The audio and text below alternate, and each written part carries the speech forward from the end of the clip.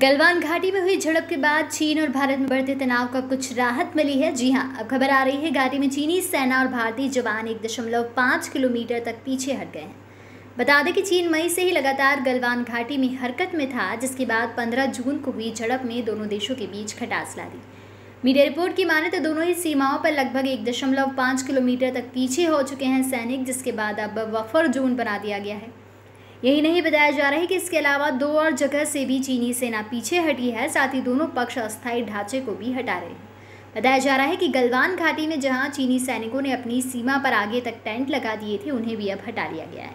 Media report के अनुसार भारत ने चीनी सैनिकों के हटने का फ़िज़िकल वेरिफिकेशन भी कर लिया है। बता दें कि झड़प के बाद से ही जहाँ एक तरफ़ दोनों देशों के बीच तनाव बढ़ा था तो वहीं दोनों देशों की ओर से इस मामले को बातचीत कर सुलझाने का भी प्रयास किया जा रहा है। चीन का पीछे जाना भारत के लिए एक बड़ी कामयाबी है। Subscribe our channel and press the bell icon for more updates